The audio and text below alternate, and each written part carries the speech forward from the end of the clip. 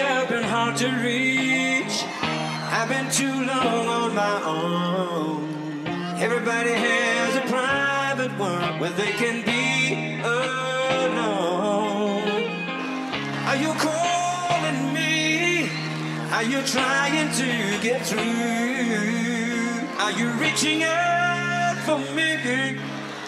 I'm reaching out. Come walk this way, let me tell you a story about this kid. He was just a little boy. His parents arguing, got a divorce. He's confused, but he's got no choice. Now he's lost, don't know what to do. Lives with his mom and on the move to a different city and don't know why. His mom says for a better life. One day, son, you'll understand.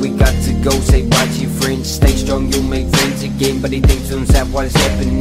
Now he's moved in so alone. Feels like he's in a world of his own. Goes to new school and got picked down. Couple years later, now he's grown. He's got his boys, he's got his dream, he's got his girl, he rapes his team. He thinks to himself, why is life so mean? But he misses his dad that he hardly seen. He feels pain, but he free from stress. Does his thing to reach success. Aim so high, so could be the best. But words of advice, never forget who you are, where you're from. A change of scene change someone, they'll never see who they become.